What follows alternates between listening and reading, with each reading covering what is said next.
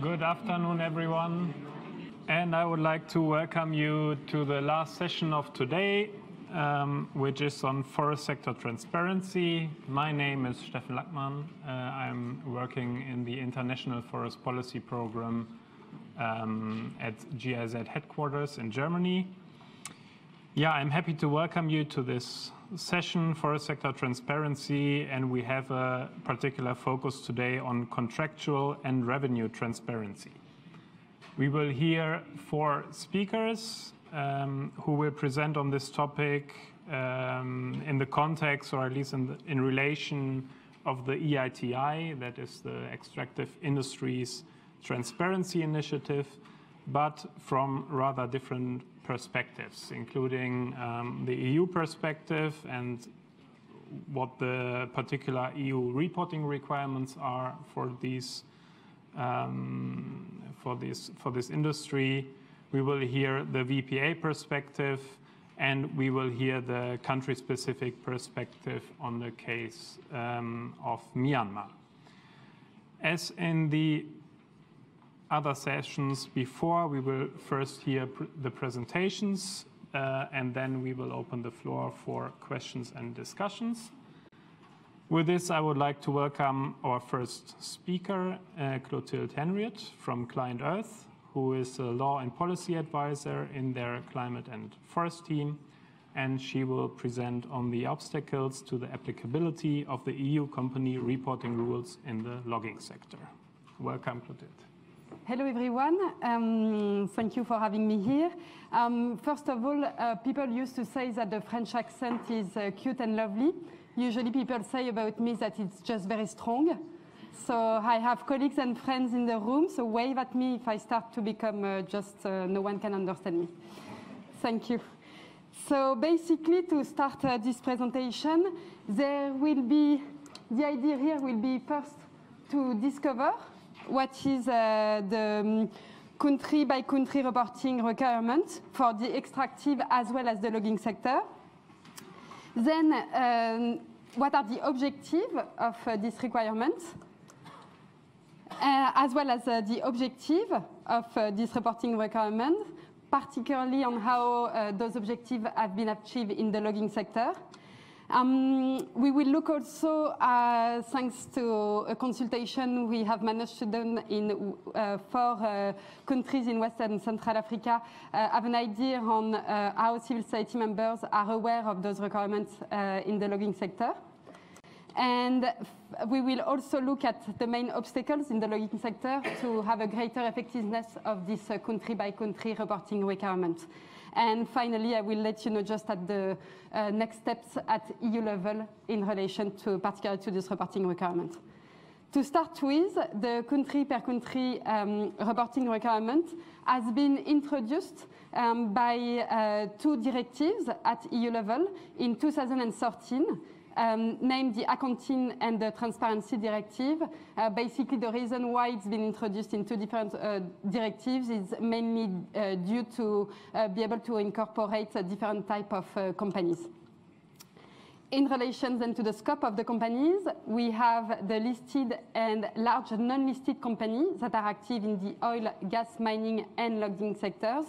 Basically, in terms of large non-listed company, it's a matter of uh, meeting some criteria in relation to uh, the revenues of the company, the number of employees, a different set of criteria. In terms of the requirements that has been asked uh, from those companies uh, since uh, the introduction of, uh, of uh, those new obligations, the idea is to have a report on, on all payments made to governments broken down by country uh, report by project, where when payments are attributed to a specific um, country. So the idea is that companies uh, will have to disclose their revenues payments to government around the world. And, and, and also on a project by project basis. Then the type of payments that are listed in the regulation. Uh, we talk about production and entitlements, tax on income, production or profit, royalties, license fees, rental fees, or, for example, payment for infrastructure improvements. Uh, there is so far uh, I think, a lack of uh, guidelines to understand the, uh, the, the, interpretation of all those payments, but we hope in the future to make some progress on that. Um, we are talking about a single payment as well as a series of related payments. And an important fact as well, particularly for the logging sector, we are talking about all payments from 100,000 uh, euros uh, and over um, by a company uh, to a government within a financial year at the very beginning, where, when those reporting requirements were introduced, uh, the objectives were set uh, loud and clear um, within the directive and uh, with all communication made by uh, the, the European Commission afterwards. It's to improve transparency of payments made to governments by the extractive and the logging industry basically with the aim to help civil society members to all governments to account for income made in relation to the exploitation of their natural resources. Um, are, we are talking about civil society members, but they were also at the time targeting uh, communities and to make sure that there is um, um, a good understanding of uh, um, the, the, where the money goes after the, the exploitation of natural resources.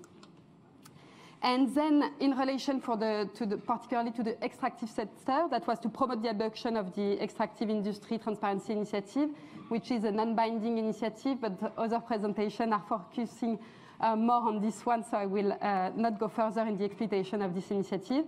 But also to complement FLEGT and particularly uh, the EUTR, um, because basically, uh, obviously, FLEGT, including the EUTR, um, have the aim to increase transparency in, uh, in the forestry uh, sector.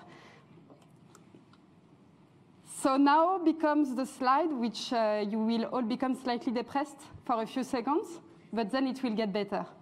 So in the logging sector, there has been two reports which uh, have been published in 2018. Uh, one specifically done after a, cons a, public consultation done by the European Commission.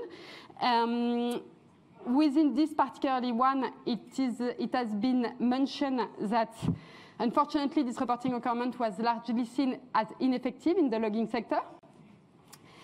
And unfortunately as well, in another study that has been released um, approximately at the same time at the end of 2018, uh, of, 18, uh, a study which, uh, which was led by consultants um, that worked um, on, on, a study particularly on this uh, reporting requirement.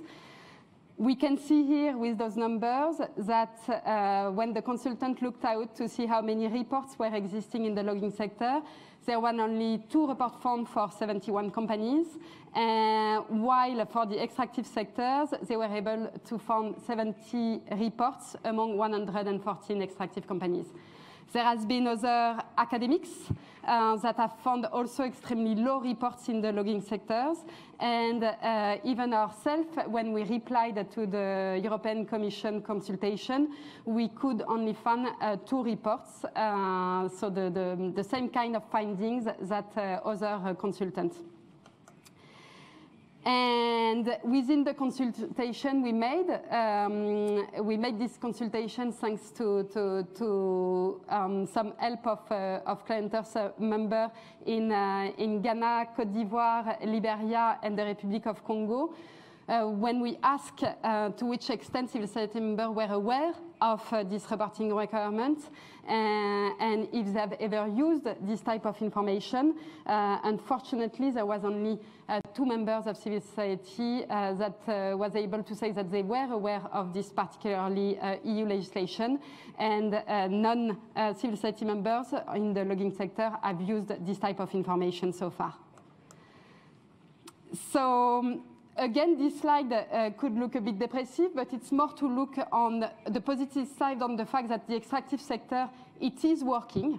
Uh, we can find reports. We can find uh, the fact that the objective of the regulation is uh, more or less achieved because civil society members in producing countries have the opportunity to use uh, this report.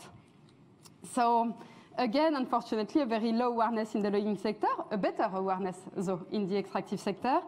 And uh, it's important to notice that, like I was saying just a, a, second before, that the local civil society organizations are already using the reports uh, in the extractive sector, particularly to detect inconsistency between payments reported by companies and payments received by governments. I think there is one point interesting here is that the regulation and the aim of the regulation was really to be able to uh, hold into account governments, but in fact it, uh, it appeared that um, civil society members are also questioning companies so that's uh, very interesting to see that there is an exchange which is happening at, uh, uh, between all the stakeholders. And they are, uh, for some of them, uh, requesting clarification from government bodies.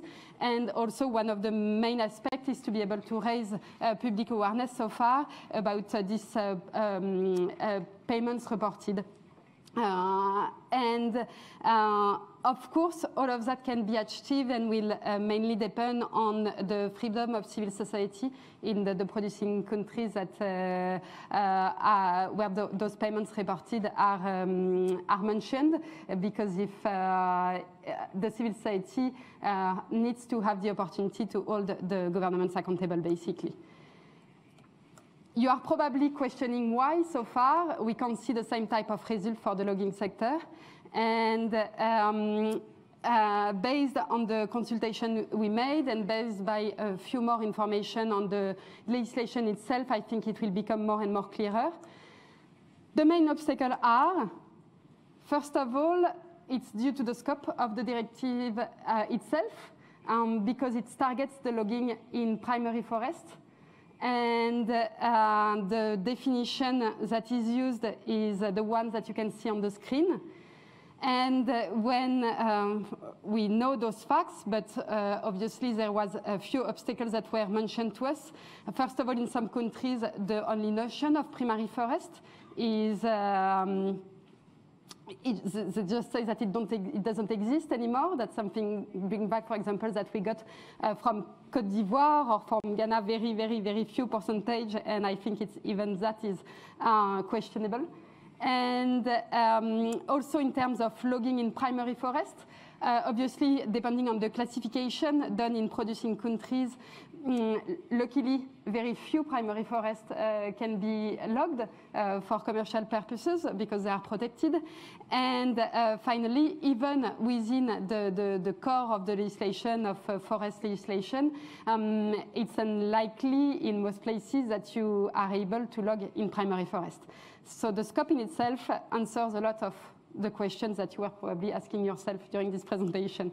Then we have, uh, in relation to the scope of the companies, um, there is a belief that this, the, the, regulation was set up uh, particularly in the mind of the extractive sector, where we are talking about a lot of um, vertical companies, uh, which are uh, large multinational, where uh, EU companies operating in the logging sector are uh, not all the time, but sometimes, however, more targeted, are more medium and, and small size companies.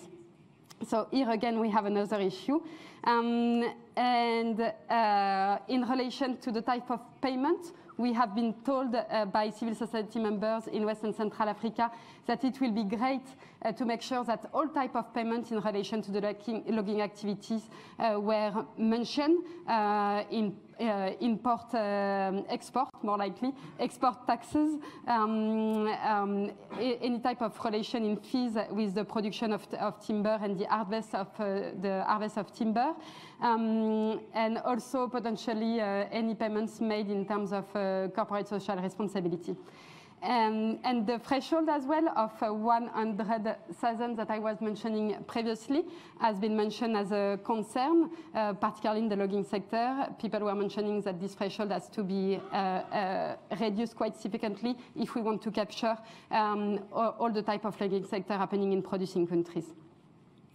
Uh, finally, there is no a common central database to find those reports. So we can imagine that in the future, uh, if this, uh, regu those regulations are reviewed and amendment passed uh, to improve its efficiency, uh, we should find a way to make sure that all those reports are easily accessible so that civil society members can be aware of it. And, and it's something that has been also um, explicitly mentioned by uh, the uh, civil society members working more with the extractive industry. So we hope that it's a message that is coming along. And finally, there is the idea of raising awareness uh, all in all to make sure that uh, civil society members in producing countries are aware of this, of, of uh, this uh, reporting requirement. Finally, uh, to end on a positive note, there will be, so first of all, there has been those two reports uh, published. Those two reports um, really mentioned uh, the obstacles that uh, have just been raised now during this presentation. So now the hope is that uh, some action will be taken on uh, those obstacles. First of all, uh, there is a need to ensure that um, the, the, regulation is not, uh, I think we say watered down, yeah, thank you. So it's not watered down to start with. And secondly, make sure that for the logging sector, it's uh, much more how the logging sector is uh, working and uh, make sure that like that the civil society member can really um, uh, hold governments accountable like the, the first time of the, the, the reporting requirement was there for. Uh, in terms of next step at EU level, so currently, apparently, it's like the election of the Pope things are uh, still a bit in the air. We have no idea of uh, who will be uh, the how will look like the new the new commission would look like. But we hope to have more clarity in the upcoming days. And based on that, it means that we can imagine to do some good raising awareness with the new commission, with the new MEPs, and that we have a potential for a new legislative proposal let's say by end 2019 or uh, 2020. I will let you know that uh, next year if I have the opportunity to see you. Thank you very much.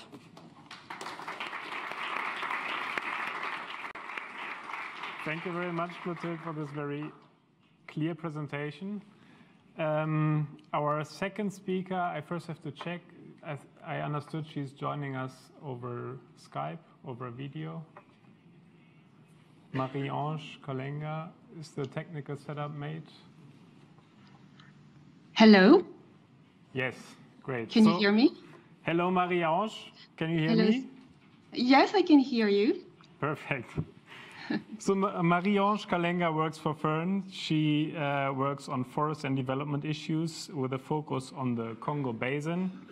Um, she is a sociologist and has a lot of experience um, working in the NGO and development sector, and especially she has been working with different transparency initiatives such as this um, uh, EITI, Transparency International, as well as the Publish What You Pay coalition. So with that experience, she will um, give, her, give us a little bit more background on what the EITI is and um, will present the context of the VPAs.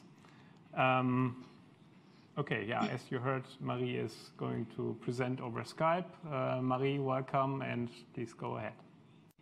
Thank you very much for the introduction and good afternoon, everyone.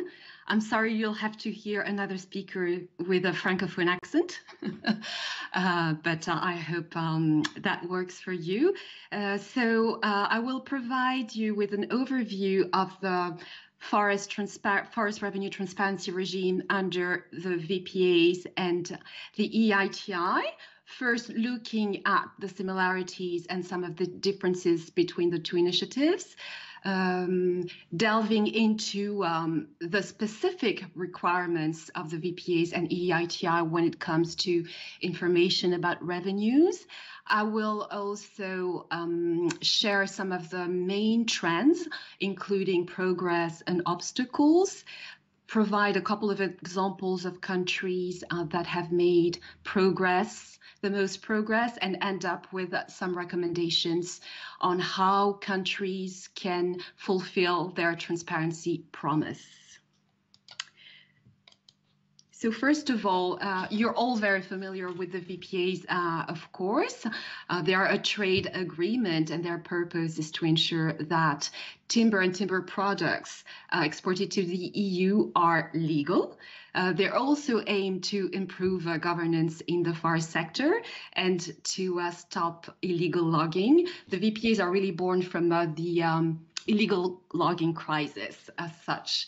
The Extractive Industries Transparency Initiative is a global norm. It's born out of the, um, the um, discussions and the, the, debate around the resource curse, and it really aims to bring a more transparency and more light into the extractive sector, which who has been who had been who was very opaque for, for several years. Uh, it's a standard because it's not binding, as um, Clotilde said, but rather than binding, we can say that it's not a voluntary. It's not voluntary. It's voluntary, meaning that countries can sign up to implement the EITI standards. But once they have adhered, then they're obliged to meet the eight requirements, and the core requirement is, of course, revenue transparency. So uh, a couple of um, similarities between the VPAs and the EITI. Um, they are they, they're both uh, seek to uh, advance transparency and governance in uh, the extractive sector for the EITI and in the, for the VPAs, it's the logging um, sector. The VPA is about legality. Uh, the EITI is not about legality. It's really about uh, publishing information, information that's been reconciled. Um, countries are implementing or negotiating a VPA. In the context of the EITI, we talk about a candidate country, which means it's a, a country that has joined the EITI, but that has not um, completely fulfilled its requirements. Compliant countries, on the other hand, are countries that have met all of the EITI requirements, and you can also have suspended countries, but I'll come back to that later. In terms of the governance of the process, um, in the VPAs, you have, of course, the Joint Implementation Committee, which provides oversight. In the case of the EITI, it's uh, really interesting because you have a multiple level of governance. At the national level, you have what is called a multi-stakeholder group, which includes civil society. That's a bit the equivalent of the Joint Implementation Committee of the VPAs.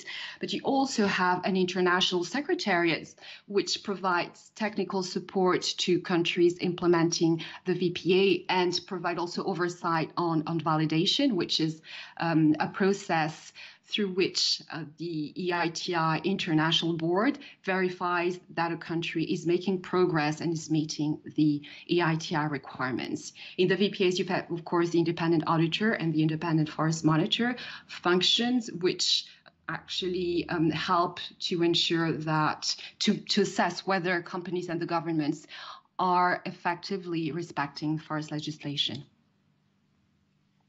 So this is a map of the VPA countries in the world. I mean, you basically, I'm sure you know all of them. Uh, there are countries that are negotiating a VPA, and there are countries that are implementing a, a VPA. In terms of the countries that are implementing a VPA, the Central African Republic, the Republic of Congo, the Democratic Republic of Congo, Guyana, and Liberia have all included forestry and the EITI scope, which means that they are committed to um, publishing information on revenues about the forest sector. Uh, however, it's only Liberia and Congo that have reported some information so far. Marie, sorry to interrupt. Can you stop the screen share or remove this little window on the top right? Because we can. Um, oh, you can see it. I'm sorry. Thank you very much. Is it okay now? Perfect. Great. Okay, so this is a map of the EITI countries. There are 51 uh, of them currently. So the colors differentiate between the level of um, progress. The dark green are the countries who are making significant progress, satisfactory progress, and light green these are the countries who are making meaningful progress. I mean, it's a little bit of jargon, but there is a, a, methodology to assess how well these countries are meeting their EITI obligations. The countries in blue are the countries who haven't been uh, assessed yet against the 2006 uh, EITI standard.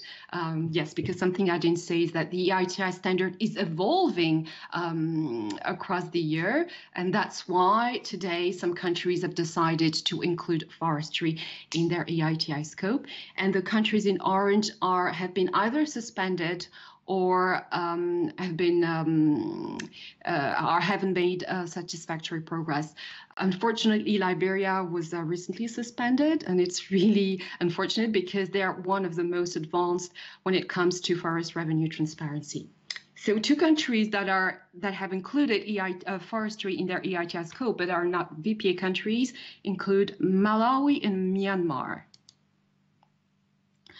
both the EITI and the VPAs claim to bring uh, governance and reputational benefits. I'm not going to go into detail um, um, on this slide, but it's it's really uh, quite obvious. It's um, international image improvements in the international image, creating a level playing field. And uh, what is really also unique about both the EITI and the VPAs is that they promote multi-stakeholder dialogue uh, and they instigate a number of reforms in uh, the extractives and logging sector. So what are the transparency requirements under the EITI? Um, the EITI actually um, asks countries to make sure that the government publishes the payments they receive from companies extracting either oil, uh, mining, or gas, and in some cases, uh, in some cases, uh, logging and uh, they also the EITI also requires that company publish the payments they make to the government. And that's what's really unique about the EITI, is that it's about payments and revenues. And these information is reconciled by an independent, what is called an independent administrator. It's like an accountant, which verifies that there are no discrepancies and verifies the, the quality of the data, whether it's been audited, etc., the timeliness of the data. The EITI is also unique because it requires quite some level of disaggregation in addition to um, uh, comprehensive information about the taxes of revenues. Of course, this can depend from country to country depending on the tax legislation, but generally it covers um, payments from uh, state-owned enterprises, subnational payments in cases of uh, in, in cases where this uh, these uh, subnational payments exist exist. Uh, it also requires information about um, other revenue collected in kind. So it's very, very, very um, comprehensive. In terms of the level of disaggregation, it's at company level. It's not yet at project level, but the EITI um, contemplates um, introducing a requirement for project level disclosure uh, in 2020, I think. One final point on EITI transparency requirements is that uh, the publication of forest revenue is not mandated by EITI. So this is an innovation from a number of countries, and Liberia was the first one when the forest sector contributes significantly to the economy or to national revenues. Um, so it's not mandated per se by the EITI, which really focuses on the oil mining and gas sector. In terms of the VPA transparency requirements, I think uh, the audience um, must be familiar with them. Most um, VPAs include what is called uh, a transparency annex, and that transparency annex um, provides um, the list of documents, but also information that a country needs to be made public. The list, the transparency annex, was usually negotiated uh, by the multi-stakeholder groups, so the the government, civil society, and companies. But the um, information that we find in most of these annexes cluster around three groups. Um, first of all, the institutional and uh, legal framework of the forest sector, the VPA process as such, uh, but also data on forest activities, including financial information. What is also what is important to note is that, of course, the independent forest monitors have played a key role uh, in countries where they exist to uh, stimulate the production and the publication of information about uh, the forest sector because they need that information to be able to do their work properly. So what are some of the achievements and challenges that we've seen um, in uh, the VPAs? So today, all VPA countries, partner countries, not all implementing, uh, sorry, negotiating countries, are implementing the EITI except Vietnam. And of those countries, I told you two of them are publishing information about forest revenues. Uh, Clotilde gave uh, some really interesting information about how civil society organizations are using information uh, through the EU Transparency Directive. It's a bit the same um, with the with the VPAs in uh, Cameroon, the Republic of Congo, and Liberia. Civil society has used revenue transparency information to help communities demand more equitable benefits or to, to demand stronger governance of benefit sharing mechanisms.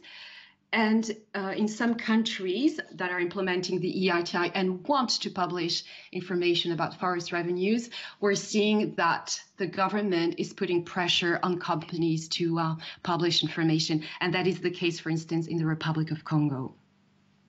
In terms of some of the obstacles that the VPAs have faced um, to um, make information about um, forest revenues more accessible. We can uh, list administrative burden for a number of forest um, authorities. Uh, it's a lot for them to uh, disclose under under the VPA. Uh, they don't necessarily have the appropriate information system mechanism, although in some countries that like Cameroon, but also um, Ghana, we've seen that uh, there have been efforts to um, to um, use automated system, uh, but nevertheless, uh, there is very little information on, on forest revenue transparency on forest revenue, sorry, uh, there is a lack, a general lack of transparency culture, and that links back to the comment Clotilde made about the differences between the extractive sector and logging companies. Logging companies are much more, much less transparent than oil, gas, and mining companies. Um, it's, it's really difficult to explain why, but maybe one of the reasons why is that there there has been much less scrutiny over over the years on logging companies, and they were mostly blamed for um, creating environmental disasters rather than uh, their lack of transparency. But hopefully, this is going to change. Of course, there's a lack of um, adequate legal framework. Um, public officials don't feel obliged to publish information and civil society really has a hard time, including the independent forest, forest monitors, to access and obtain information when they request it. And of course, the official VPA website should really, really, really be um, upgraded to provide more information about revenues, about and, and more information in general. So as a result, um, none of the VPAs current, uh, the country currently implementing a VPA are fully meeting their transparency obligations when it comes to um, forest revenue transparency. Um, with respect to the EITI, so the good news is that there is a growing number of um, national EITI processes that uh, want to shed light on, on the forest sector and uh, complement the information uh, that is made available through the VPAs in the case in case they are also implementing a VPA. Uh, we are seeing that some of the disclosures are publicly debating and that they're contributing to the um, a better understanding of the, the forest sector. In the case of the Republic of Congo, the Independent Forest Monitor published a report looking specifically at um, taxes and at uh, fines uh, that are not necessarily being uh, paid by com- by companies, and this generated a really interesting debate around what the companies should have uh, paid and about the the amount of revenues the government is losing every year uh, because uh, tax recovery is really poor. And a number of um, EITI, but also VP, uh, sorry, EITI countries have adopted uh, adopted a transparency law. Um, that is Nigeria, Liberia. Liberia has both a transparency law and an EITI law in, Nigeria. And the Republic of Congo also has a transparency law. And these laws were generally triggered by, by the EITI. In terms of uh, what is a little bit worrying is that forest revenue transparency is only optional under the EITI, so it's it's only a, a plus. Uh, it's an innovation, as they call it. It's not mandatory. Um, in the case of um, countries um, uh, that have included um, forestry in their EITI scope, we notice that most of the time the government publishes payments, but companies are a bit reluctant. So uh, these are only unilateral disclosures, so they can't really be reconciled. Um, and um, another challenge is the quality of data. Some of the companies provide information that hasn't been audited. So what's the value of that? Um, I wanted to quickly go through um, some examples, and these are the countries where we have seen the most progress. Liberia is, of course, a model. It's been pioneering um, the um, disclosure of uh, uh, information about forest revenues since 2009, and it has been publishing annually reports about revenues in the forest sector, um, but the quality of the data is a little bit unsatisfactory, and I'll come back to that when I show you a picture of the, an assessment made by uh, the EITI Secretariat during the uh, the latest validation of Liberia. In the case of the Republic of Congo, um, disclosure of um, forest revenues is more recent, but it's only the government who publishes um, payments made by companies. Companies are persistently refusing to disclose. And the last EITI report shows that only one company um, published what it paid to the government, and that was IFO. But the, um, the data of this company apparently is a little bit problematic because it's not been audited, but yeah, that's another story. And of course, the EITI board is a little bit worried about the situation in Congo, although it welcomed um, the progress. Uh, it lamented that because the EI, the forest sector is so important in, in Congo, it should really, really ensure that information about revenues is published. So this is the scorecard I was talking about in Liberia. Uh, this is uh, this was done in um, during the 2015 validation, and if you look at the revenue collection box, generally um, the level of progress is satisfactory to meaningful, but the quality of the data is a little bit problematic. So this is the assessment that was done for Liberia. And this other slide shows the latest EITI report from, uh, from the Republic of Congo, which covers the um, fiscal year 2016. And you see that the column from companies is almost blank. And there's just um, the IFO or the company IFO that publishes payments. And this is the government column. So what can we say about how the EITI and the VPAs complement uh, each other. Um, first of all, the EITI um, provides a very comprehensive uh, disaggregated data, and the data is reconciled independently. So company payments are reconciled with uh, government reports. In the case of the e, the VPA, what is interesting is that publication is is mandatory. It's a, as per the VPA is a contract, so it's binding. Uh, the second thing is that the EITI uses a combination of carrots and sticks. A country can be delisted, it can be kicked off of the EITI, it can be suspended if it doesn't respect um, its obligation and if it doesn't uh, abide to the EITI rules. We don't have such a mechanism with uh, with the VPA, um, although um, there is technically the possibility of suspending a VPA, uh, the, a VPA. But what is interesting about the VPA that the EITI doesn't have is, of course, the independent um, auditor and um, the independent forest monitor, which helps to uh, um, assess whether the government and companies are respecting forest legislation. And third, the EITI encourages systematic information, um, information, meaning that the EITI really wants to ensure that transparency is mainstreamed in the extractive sector along the value chain. So from the moment um, the decision is taken to extract to how the revenues are used in the case of the VPA, um, the information provided is maybe less uh, less technical and less complex. I don't know if you've seen an EITI report. It's really, really complicated to understand. And we've also seen that the VPA has really done a good job in terms of bringing the information down to the community levels, for instance, through the use of radio communities, simplified guides, etc.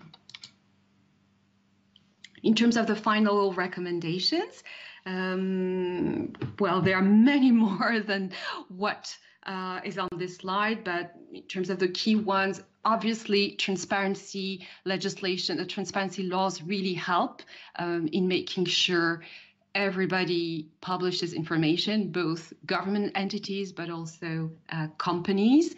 It's really difficult for companies to understand why they have to publish information if they are not obliged to do so by law. Uh, it's also important that VPA countries start looking at some of the mechanisms that the EITI provides to disclose uh, information. For instance, the EITI portal uh, where all the EITI reports are published is really very user friendly, it's very interactive, and it's updated on a regular basis.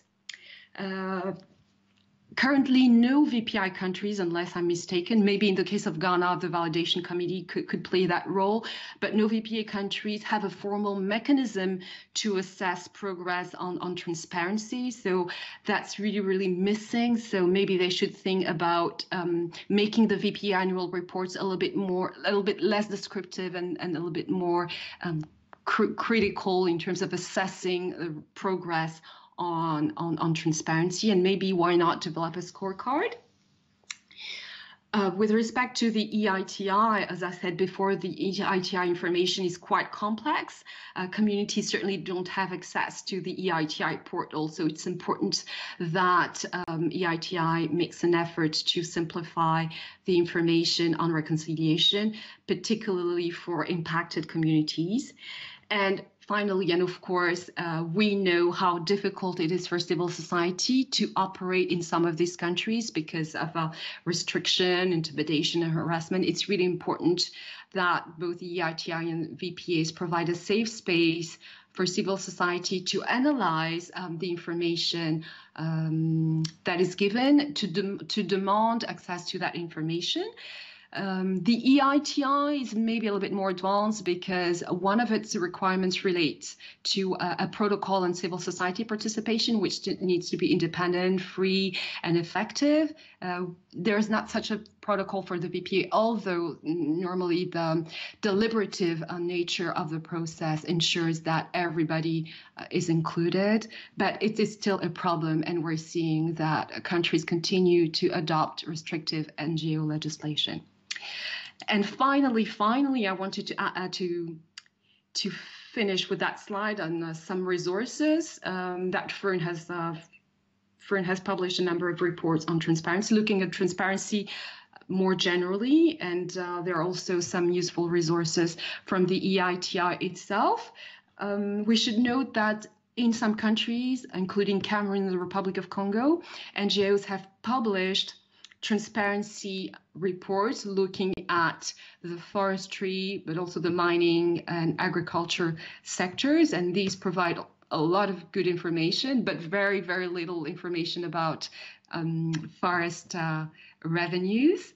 Uh, and uh, I can also say that Fern plans to do more work on this, including publishing a briefing note on EITI and forests, and a note specifically on the um, on Congo to uh, to ensure that things can progress a little bit more rapidly.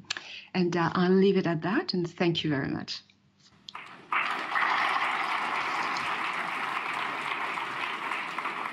Thank you very much, Marie-Ange, and uh, please stay in the line for our discussions later on. Um, but first, we move on to our um, last two speakers. First of all, uh, Hugh Speechley, independent, who is presenting on uh, FLEGT in Myanmar. And I understand then the presentation will directly move into the presentation of Kerstin Canby, um, who is Director of Forest Trends, Forest Policy, Trade and Finance Initiative, and will then uh, present specifically on Myanmar's EITI forestry report. Okay, Please. thanks very much. So, good afternoon, everyone. Um, my name is Hugh Speechley. Uh, I was involved in Myanmar's VPA from late 2015 until the end of last year, firstly as FLEGT facilitator, um, and then advisor to the Ministry of um, Environmental Conservation Natural Resources, and finally um, oversight of both of those roles. So I want to give you just a brief overview of the background of forestry in Myanmar and where FLEGT got to up till the end of last year. Just about the country itself, um, it's a very large country and very ethnically diverse. Um, there are 14 states and regions. The states are approximately those areas where ethnic groups are dominant, and the, the regions are what were formerly divisions, where the uh, majority Bama ethnic group um, forms the main population. The total land area is uh, 678,500 square kilometers, so it's large. There's a huge north-south distance from alpine areas on the eastern edge of the Himalayas in the north to the south, which is moist tropics. It has a, a long land border, nearly 6,000 kilometers, with five neighboring countries uh, Bangladesh, India, China, Laos, and Thailand.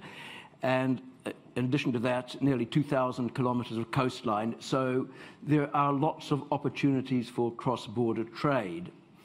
The population is not all that big for a country of that size. There's, it's about between 50 and 55 million people, but it comprises over 100 different ethnic groups. And I list the, the major ones there, and you can see the Bama, which is the group where the country takes its um, colonial name from, Burma, which forms the majority of the population, and the majority of those are Buddhist, and then a range of other groups um, uh, that, are normal, uh, that, that, are based largely in the different states, and these can be combinations of Buddhist, Christian, and other religions.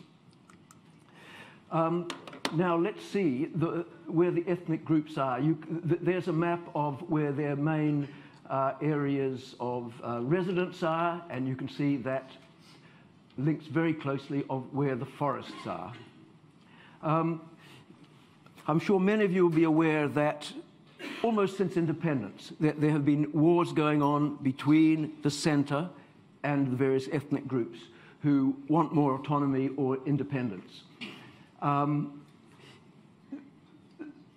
part of that is because they want more uh, independence from being controlled by the central government and have it say over their own affairs. But a very important part of, of that is because of resources, and forests and timber are a very important resource in this regard. So this is a problem that uh, Myanmar has been wrestling with 70 years since independence.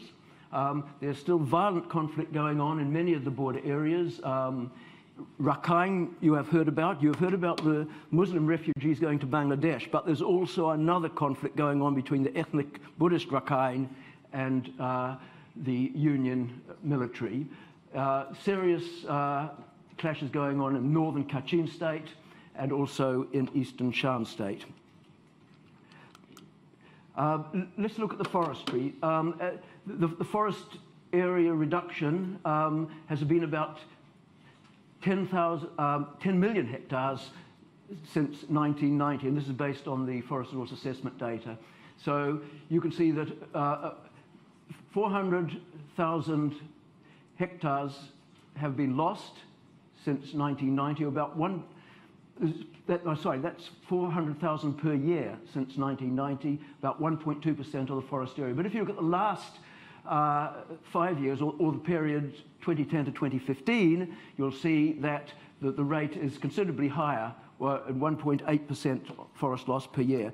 And if you compare that with Indonesia, which is the country with in the region, certainly with the highest deforestation rate, you'll see the actual percentage rates, even though the areas are higher, are about half or less than the rates in Myanmar. So Myanmar has, a, has had a serious deforestation problem. Um, and it's interesting to note that in its contribution to tackling climate change, getting on top of uh, deforestation and reversing it is uh, its major goal.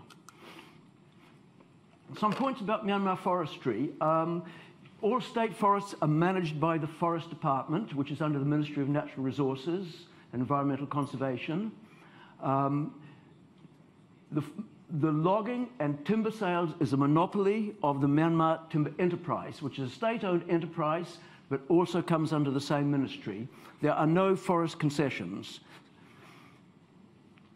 From the 1990s, the Myanmar Timber Enterprise had to keep up with demands from the then military government to meet very, very demanding revenue targets. They didn't have the capacity to do it themselves, so they engaged contractors. And quite often those contracts were given to favored companies which had military links. And instead of paying them on a contract basis uh, with so much per cubic meter, they paid them in logs. And this created a huge parallel market for timber in the country, which uh, most of those went to exports. So there were huge volumes of, of, exports that went out during the 90s and through to when the log export ban came in in 2014. Um, during that period, MTE was subject to US sanctions because at that point it was uh, very, very close to the military and the senior officials within the um, the organization were uh, often military or ex-military officials. Um, this led to quite a lot of offshore transfer of timber. So they, they would export to Thailand, Taiwan, Malaysia, Singapore, places like that. And so the country of origin for export would not be Myanmar, and that led to circumvention of the, of the sanctions. And then um, more recently, the uh, US Trade Association, the International Wood Product Association, negotiated a waiver of the sanctions for its members uh, on the condition that they would help improve forest governance in Myanmar. Um, pretty much throughout the uh, recent history, there's been a large illegal cross-border trade with neighboring countries. Um, initially, it was with Thailand when Thailand introduced its logging ban. Um, more recently with China. And in 2014, there was a massive uh, uh, export of rosewood uh, across the border into Yunnan province. Uh, there was a, what appeared to be a sort of feeding frenzy, and it, it peaked at that level and then has dropped off. Um, since then, um, Myanmar and China have signed an MOU on forestry, and it appears that the, the trade uh, has dropped off considerably since then. Um, and incidentally, uh, Myanmar does not allow any cross-land border trade of forest products. So all the trade with neighbours that goes across the border not out of one of the Yangon ports is illegal. Um, when the log export ban was introduced in 2014, some of the big companies that had got fat off the timber sector left. Uh, there, there's still a few left, but but the big ones have moved on to more profitable enterprises like jade mining and, and the mineral sector and real estate now. Um, in the 2016-17 logging season, the government had finally cottoned on that they had a real crisis on their hands, and there was no logging at all um, during that season, and the contract system was discontinued. And from then, all sales of logs have been through open tender by MTE to the companies that buy the logs. And at that time, the annual harvest was significantly reduced. But it doesn't mean to say that illegal logging is sorted out. It's still a widespread problem. The FLEGT process. Uh, in 2014, the Myanmar government expressed interest in a VPA. Uh, they saw that the neighboring countries were starting to get into it. Indonesia um, had uh, signed its VPA and was moving towards um, getting FLEGT licensed timber. Malaysia had been involved in negotiations. Thailand, Laos had started, and Vietnam was negotiations were well underway. So they, they, they could see benefits to doing that. At the same time, the EU made a grant to a local NGO uh, called EcoDev, it's now called itself Alarm, and they linked up with the Danish Church Aid to start a program on awareness raising on what FLEGT was all about, and they had specific programs in um, two regions and one state, in, in Kachin, in Tanintharyi in the south, and in the, the big logging uh, region of Sagaing. Um, early 2015, um, a stakeholder workshop was held and it was decided to launch the VPA preparation phase. And this really was taken by Myanmar as a commitment from the EU that uh, the EU was serious about starting to move towards VPA negotiations. Uh, a multi-stakeholder, 24-member interim task force was formed, and this, the, the idea of this was to prepare for VPA so that within a reasonable period of time the negotiations could start. And uh, advisors for MONREC and a facilitator were engaged at about the same time. In June 2016, um, DFID support started, and there was a, an overall grant of 46 million pounds in a three-year project. Uh, this funded uh, uh, more facilitators and, a, and, an advisor to the ministry, and it allowed stakeholder consultations to take place in all the states and regions. And this was the basis of forming multi-stakeholder groups. This is more formal structures to prepare for negotiations. So as a result of these consultations, uh, a national multi-stakeholder group was formed. It, it had um, 28 members, uh, seven from each sector, uh, like the, the, government, private sector, and civil society. And as well, in each of the states and regions, there were sub-multi stakeholder groups. So uh, information could be transferred between them and they could develop positions for negotiations.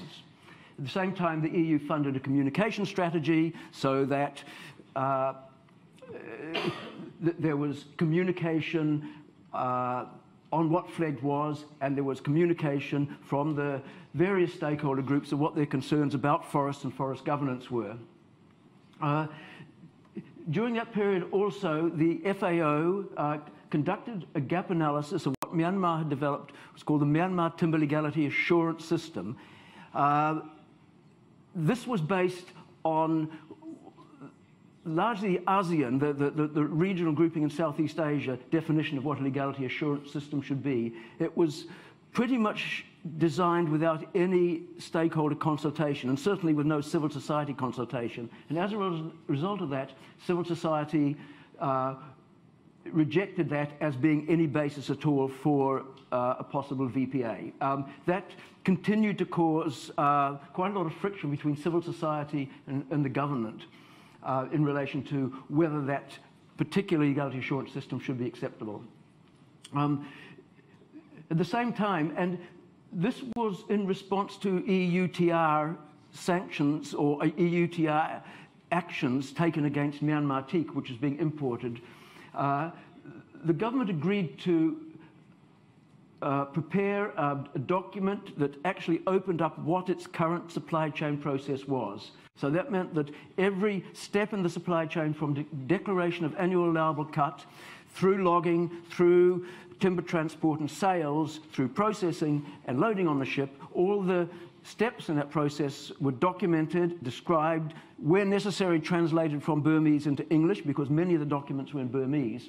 And so that document was made available, and it was the first time ever that these documents were available in one place. And this was really the result of the first Swedish EUTR case, which changed the game in many ways from seeing FLEGT, well, this is just another project, to this is really important for us because our trade depends on it. In November 2018, when we, I, I think we were just really starting to ramp up. As a response to the Rakhine crisis, where the, the um, 700,000 or more um, Rohingya refugees were driven across the border by the Myanmar military, DFID decided to terminate support for the FLEGT process. This was six months early. And this was just when we were sort of discussing with our counterparts there the possibility of extension, um, DFID decided to stop support, uh, which was very unfortunate. Um, there is some FAO funding in place, but it's really insufficient to keep things going. But the Myanmar stakeholders, government, civil society, and the private sector have all committed they want to keep, the process going. Um, so if there's any funders out there who want to keep it going, there's a possibility. So what happened as a result from FLEGT? Certainly stakeholder engagement was strengthened. The interim task force created a platform for deliberating uh, which hadn't been there before. Um, the capacity during that process to start to discuss difficult issues improved, although some of these meetings were, were fairly rough. Uh, the, just the fact that these people got together and developed personal relationships meant they could discuss some of these issues in a more um, uh, acceptable way. Uh, the outreach to states and regions helped understand what local stakeholders considered important related to forest governance. So it wasn't just the government going out there telling people what to do, it was listening to what their, their concerns were.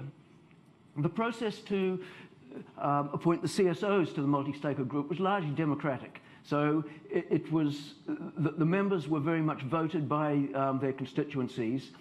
Um, and now, even though the process itself is finished, the, the multi-stakeholder group is debating a new um, uh, version of what are the forest rules. These are the regulations that underpin a new forest law, which was passed late in 2018. This wouldn't have happened uh, had there been no multi-stakeholder group formed. Um, th there's improved government openness and transparency. Uh, in response to the EUTR cases, um, CSO monitoring and reporting is now accepted as being a way to identify where legal logging is going on, um, and there's certainly better communications with the media. I'm sorry to interrupt. I'm just looking at the time, and I want to allow. This is this is this is the uh, second to last slide. Oh, okay. Please. Uh, okay. Be quick. I'm sorry. Um,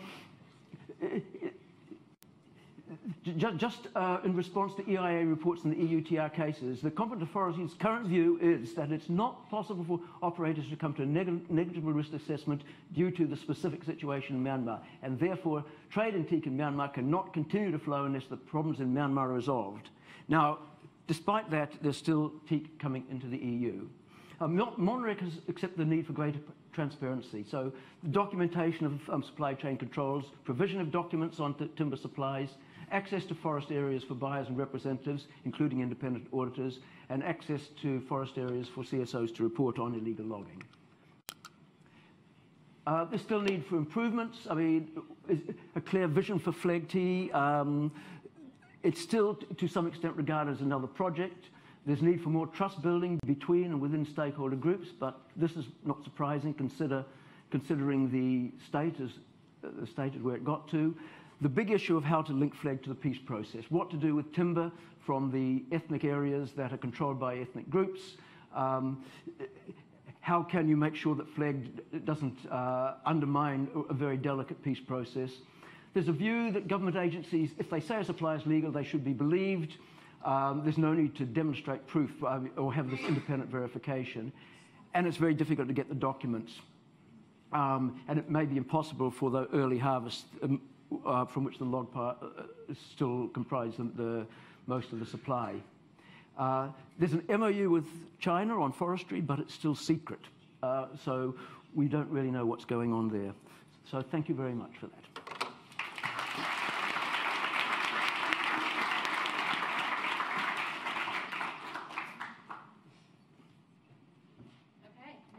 Move on to the EITI of Myanmar. Um, so we've already gone through a little bit of the history of what is the EITI, so I can move kind of quickly through that. Um, one of you know the big things that we're really pushing with the EITI in Myanmar is where is the money that's being collected by these massive natural resources that are present in Myanmar, the jade, the gems, oil and gas, and the forestry. Where are those revenues going, and are they benefiting um, the citizens of Myanmar? So this is just sort of my transition slide of what does the EITI look for. You go everything from the contracts and licenses, it looks into production, it looks into revenue collection, and then the revenue allocation and what are, is the contribution to the social and economic um, welfare of the country. Um, why did Myanmar add a forestry report. It wasn't required by the EITI. Um, the government committed to the EITI in 2013 and went forward with its oil and gas and mining reports. Um, but then forestry was added about two years ago. And how did that happen? It really was CSO pressure. Um, I'm going to give credit to a large part to the Myanmar Accountability and, Trans and Transparency Association, which has more than 450 um, civil societies um, members, and they're from all Myanmar's, all, all Myanmar's 14 states and regions. And so this really was locally owned. There wasn't a lot of support. There was no push from the international EITI secretariat who actually, from the previous presentation, there's not a lot of global experience with forestry under the EITI. So I think, if anything, everyone thinks this is a weird beast. We don't really know how to handle it. There's not a lot of lessons learned or, or templates for this. And there wasn't donor money specifically for the forest report. I think the World Bank kicked in some money. And um, for the past two or three years, uh, Forest Trends has been providing technical assistance and training. Um, I forgot to mention that this is work being done under the leadership of Art Blundell, who works with Forest Trends, and he has experience with the Liberia EITI, and so he's been working with us in Myanmar on this. So he can't be here today, so I'm giving this presentation, but it's really his work. So the fact that civil society had such a strong say to be able to put forestry, to get forestry on the map of the ITI was really um, a, a, really a good strong show of local ownership. And it was clear that CSOs had a seat and a clear role in decision making on the multi-stakeholder group um, decision making process for the Myanmar EITI. So the first forestry report came out in January 2019. It does not have everything that Marie-Ange says that an EITI report has, but it's a start. It only covered fiscal years 2014, 2015, because really it started, the whole thing, the whole idea started two years ago, so they were working with the best available data at that point. Um, I'm not going to skip over this part with Liberia because I think it was already talked about, but that was is sort of the model. And Myanmar and Liberia share some important characteristics. They're both post-conflict states. Actually, Myanmar is still in conflict. Um, so there's conflict timber tensions in with a country that has a highly valuable timber sector. So forestry is part of the dynamics of the simmering tensions in Myanmar. Revenues from the forests are not um, coming on the ground to the, to the communities that are actually bearing the biggest brunt of the environmental destruction um, from the forest operations. And I just clicked a button with my foot, so now I can't see my little screen here, so I'm gonna now look over here. So what are the findings?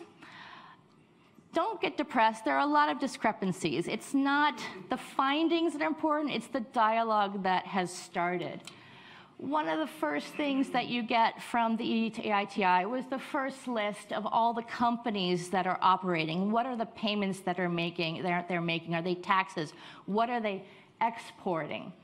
Um, and some of the analysis was based on sort of a priority of their analysis was um, based on thresholds of payments. Those were the priority that were looked into more in depth. What we didn't get, though, and that's something the EITI is going to require in the future, is beneficial ownership. So we may have the names of the companies, but we don't know who owns them. It's theoretically possible that the same man owns all these companies. So you really need to know who is the beneficial ownership to see what, what the links are, whether there's someone in government who's also a part owner of a company, for example. We found um, a lot of discrepancy in the reporting of production. On the left, is a table where the source is the Myanmar Timber Enterprise reporting on production of teak. On the right is a slightly different table, but it's from the Forestry Department and also is supposed to be telling us about the production of teak. So there are lots of numbers. It's hard. You really, the report itself isn't that hard to read, but you really have to understand the sector to understand what's going on and what's missing and, and how, to, how this all fits together. So we kind of, we've done a little infographic. What you need to know, teak log production, the annual allowable cut, was 111,000 Hoppus tons. The MT reported cutting 104, but the Forestry Department re uh, reported 275.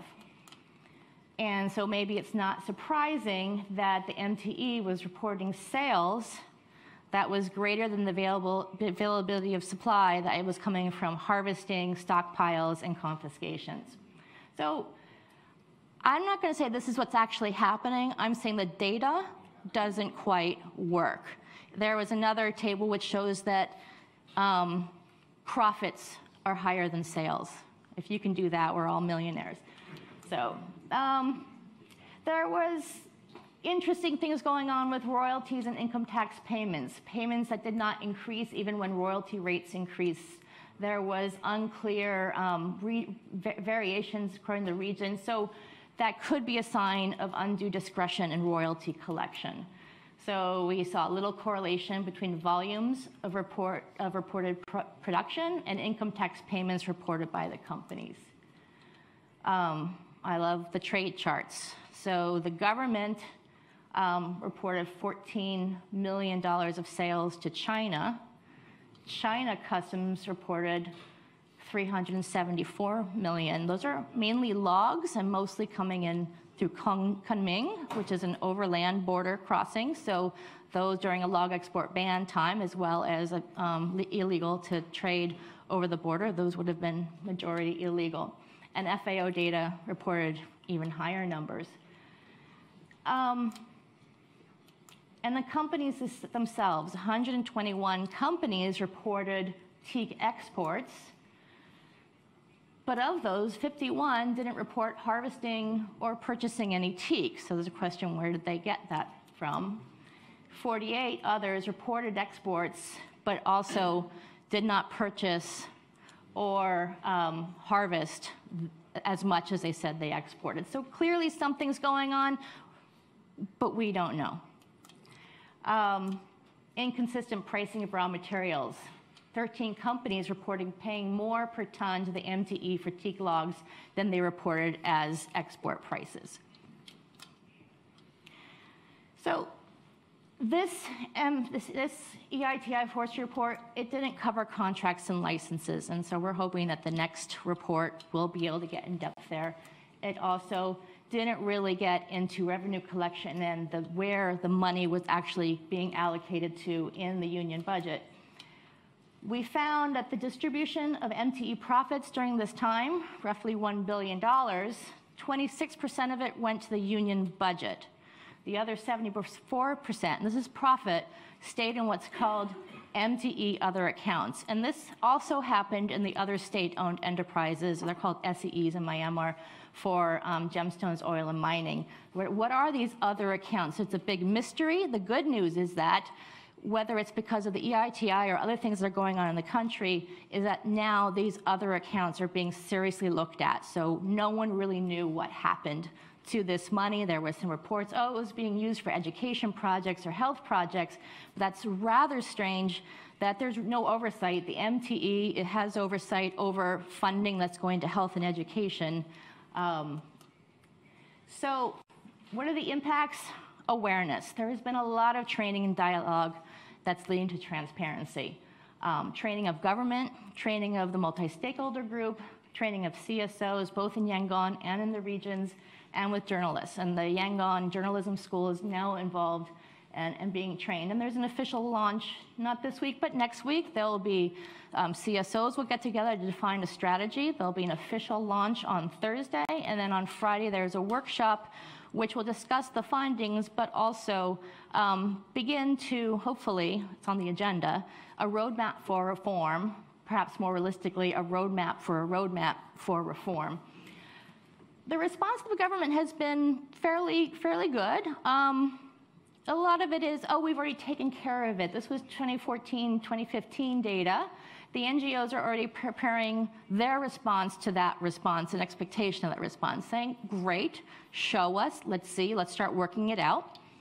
Um, in June 2018, the government of Myanmar created a beneficial ownership task force to address the problem I addressed, addressed earlier, which is going to be critical in terms of addressing potential corruption and conflict of interest.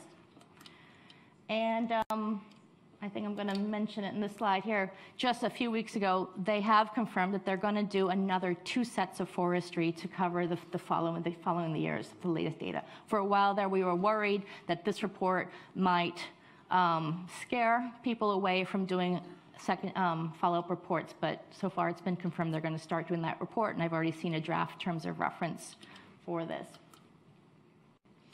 Um, maybe we've already kind of gone through this, but we know the EITI goal, what industry says it pays is what government says it's collect, and payments ultimately benefit Myanmar citizens. Um, you know, the TLAS, as it's designed, it may ensure that all payments are being made. So that could be, there could be an overlap there. Um, but frankly, I think we need all eyes on the forest right now. So this is another way of triangulation. It's another way of getting a data from another vantage point. And so right now, I think it's great that there are two different processes going on. Um, and the MEITI is it's not an audit of the TLAS system, but it can identify ways where, where payment systems go awry that possibly the TLAS won't be able to get into. The, EI, the um, EITI Forest Report also has a little bit of a benefit in that it links with broader reforms. There is a, of, of the state-owned enterprises overall and sort of the whole public finance, the way that public finance is structured in Myanmar. Um, I picked out a, a sentence here. It's improving data availability and accessibility and development of better systems for the certification, traceability, and valuation of blank. I was like, oh, that's timber. No, that's for gemstones. I think that is the same, same issues in gemstones as we have for timber. And so there is, and gemstones and the oil and gas are actually much bigger sectors in Myanmar. So we do have a benefit of a need to be able to sort of put our, what is it, um, to go, to go along with the other sectors all, oh, as well. Some of the overall SEE reform would be hard for um, MONREC to the ministry to do, to, to do alone. Um, and it has a lot to do with the peace process. The ethnic organizations are very interested in the findings. Um, the, you know, these ethnic grievances are continuing to stall the peace process, and so this question of where is the money going is very central to the peace process. There you go.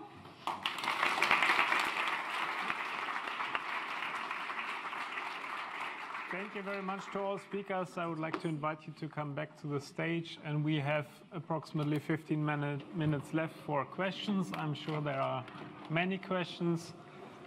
Uh, we take them again in, in groups of three, and we start over here with the first question, then the lady in the back, and then here. Um, uh, good afternoon. Uh, my name is Steve Rhee from the Ford Foundation uh, based in the Indonesia office. Really appreciated all of your presentations. And it seems to me in my head, being based in Indonesia and dealing with uh, EITI, VPA, and all of the natural resource governance issues, one thing that's clearly being felt in Indonesia, and I'd imagine in the places where you're working and reporting on, is the influence of Chinese development finance right? And also the consumption patterns of the Chinese markets for various commodities. So I guess the question is to what extent uh, do EITI and VPA and the things that uh, you all are reporting on and working on uh, resonate uh, with the Chinese uh, government's uh, Belt Road Initiative, for example, right? So we can use that as an umbrella. Because it seems to me without some sort of buy-in or, or collaboration with them, uh, the incentive structures that they are setting up, both market and policy-wise, uh, uh, fundamentally override and are much bigger than the things we're working on here in this room and that you all presented. So I'm just curious about the sort of where does China come into the conversation, I guess. Thank you. Okay.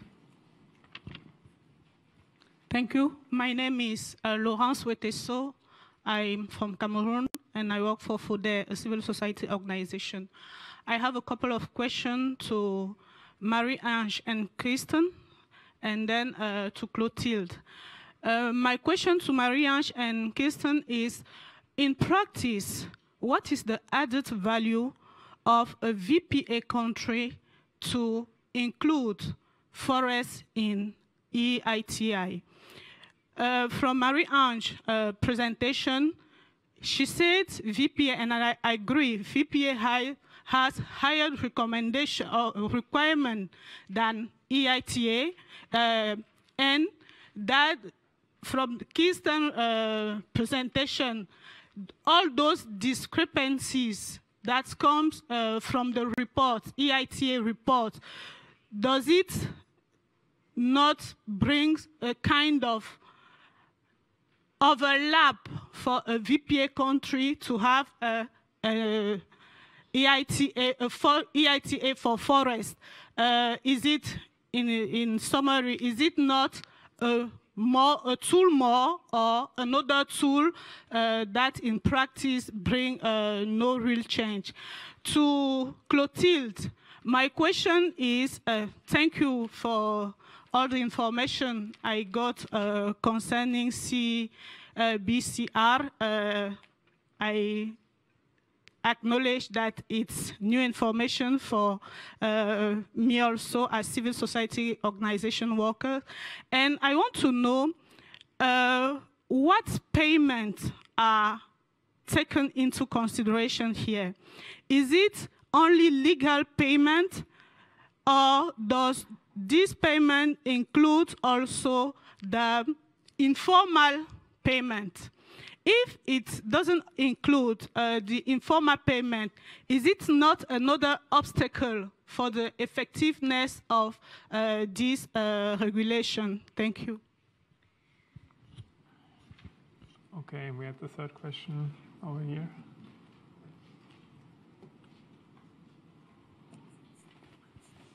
Thank you all. Um, I'm Alec Dawson. I'm from the Environmental Investigation Agency. Um, as you mentioned, we recently released a report on some of the corruption issues within Myanmar. Um, just got a question for Kristen and Hugh. Talked about Myanmar. Um, releasing that report, um, one of the responses that we got from the MTE was, "This is old news. There's none of that happening anymore here." Um, and similarly, they officially say that they've massively reduced the logging quota and the amount of logging has massively gone down. Um, what do you guys think about the capacity to verify claims like that going forward? Do you think it's possible at the moment? What do you think the tools are available to do that? Um, when do you think we'll have some of the data that you're using about a few years ago to verify some of the things they're saying about um, logging and corruption now?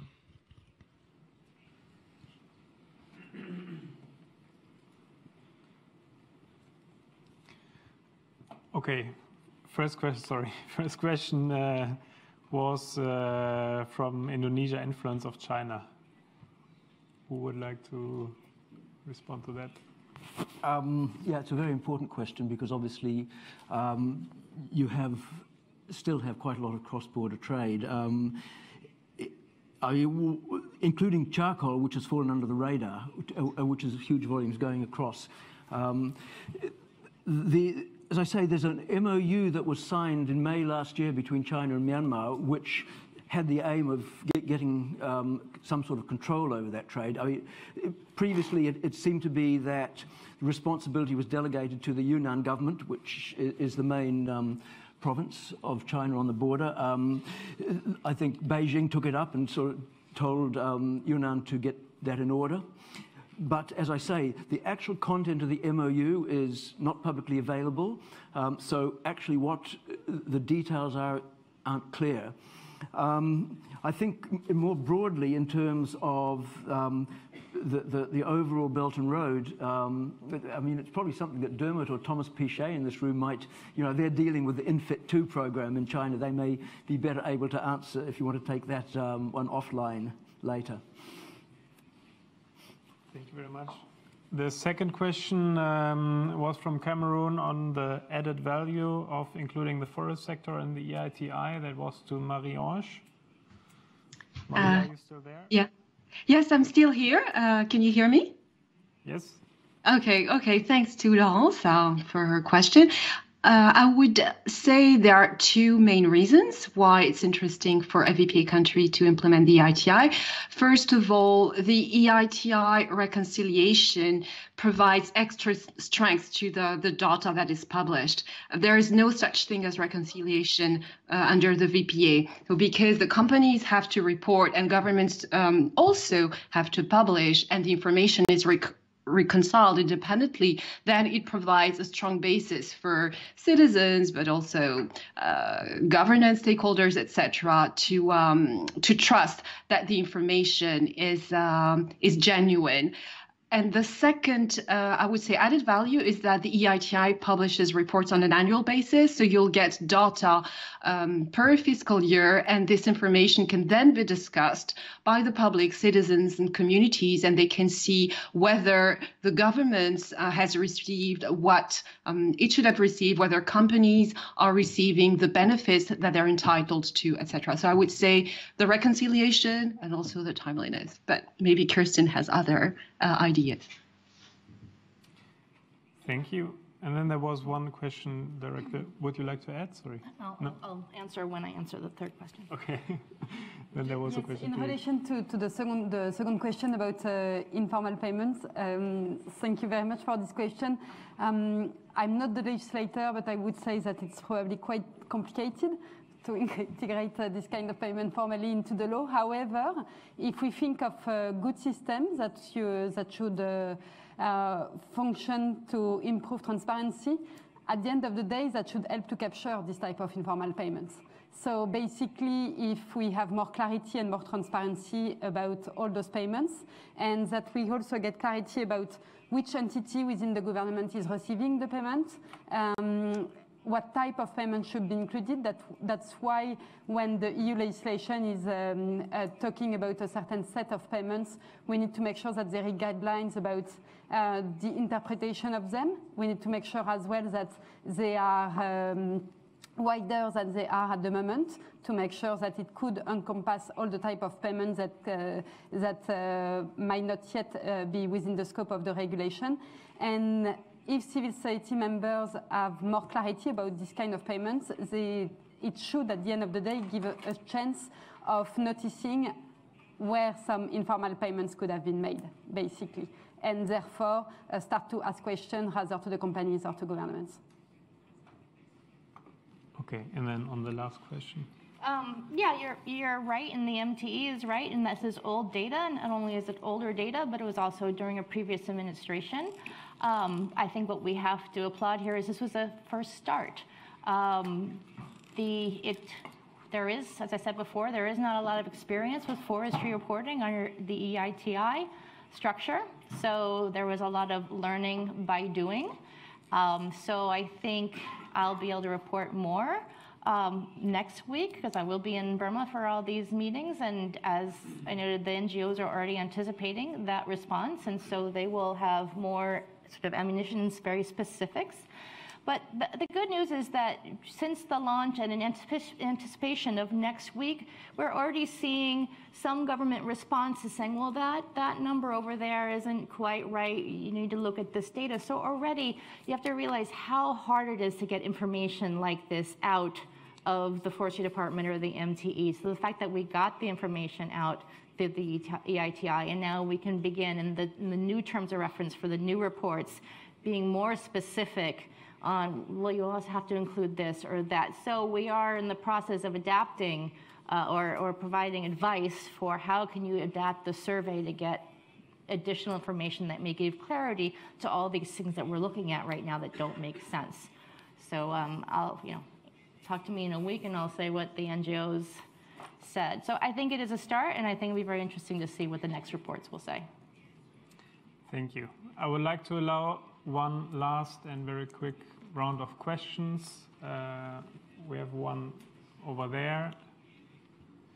Um, thank you very much indeed. Um, Ewan Grant, um, I've worked in the ex-Soviet states with law enforcement agencies, so uh, I've seen how the deep state works.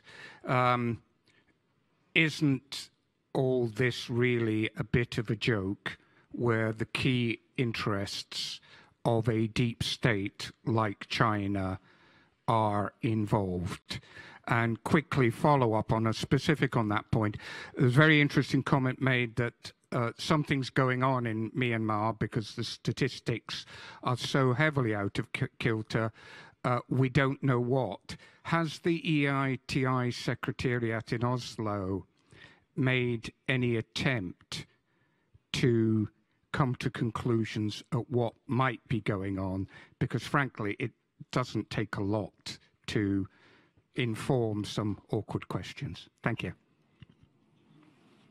Yes, then we have one more question over here.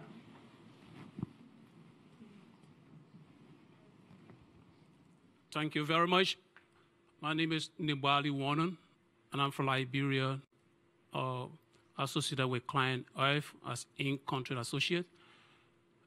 I work as the first head of the Liberia EITI program, and I went to the level of becoming a member of the EITI board and I've had the opportunity of working with the Liberian VPA process. So I just wanted to acknowledge the beautiful presentations on the complementarity of VPA EITI. I wanted to make two points. I think for the process to work, one has to focus on contract transparency so that there's a fair opportunity of knowing what the government should have received and what it did receive and then two, we need not put undue emphasis on data quality. I think it's an essential value that some reports are made. And I, I, I wanted to agree with Marion on her point about Liberia EITI data quality on the forestry sector. I think the EITI is very clear that the data should not be published but it should be published in a widely accessible and understandable manner. And that the publication of the data is not an end in itself, but it should generate a governance discussion. And I think we should see it in this context, whether it's for MEITI or the Liberia data quality. Let us not focus on the international secretariat, but in-country multi-stakeholder processes, the sort of conversation they have. And in that respect, you will agree that every publication, no matter how disjointed and not consistent the data will be, is a big plus as we improve forest governance. And that indeed you did well from my point. point, and having worked with the EITI for a number of years up to the validation committee and the Liberia VPA process, that there's significant complementarity between the two and that starting with one almost always makes it easier to get to the other, either through civil society pressure or other stakeholders. Thank you. Thank you very much.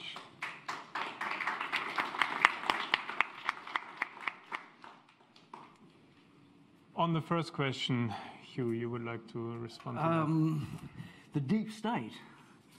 Yes. Uh, I, am not sure I can answer too much about the deep state, but one thing um, I think is important. When the reforms started, um, 2012, 2013, uh, it was very clear that Myanmar wanted to reduce its dependency on China. Um, I mean, this came to a head over a large dam project in Kachin State, the Myitsone Dam, uh, which was subject to a lot of um, local pressure, and eventually the Myanmar government um, suspended the contract, and it's still suspended now. And so opening up to the West was very much to counter Chinese influence. Um, the, the, Belt and Road Initiative um, and the, the, the, impact of the Rakhine crisis have probably tempered that, and certainly China has now, um, it sees that as an opportunity to um, increase its influence. And you know, the, what, what, China wants is access to the Indian Ocean, so between the, the Yunnan border and, um, and um, Rakhine province, building a deep water port there, rail and gas line. So the, the political position of Myanmar is very important in this regard. Um, I, I, think Myanmar will uh, continue to play off different sides to the extent it can. Thank you very much. Okay, we are a little bit over time. Before uh, closing the session, there are a few notes. For those who are not joining us tomorrow, there are evaluation forms on the table over there. Please take one and fill them out. Um, for those who are joining us tomorrow, please keep your name budgets and bring them tomorrow. And then we will uh, now meet upstairs for drinks and have more opportunities to discuss. I would like to thank our speakers um, for their really interesting presentations, you for the questions and discussions, and see you upstairs. Thank you.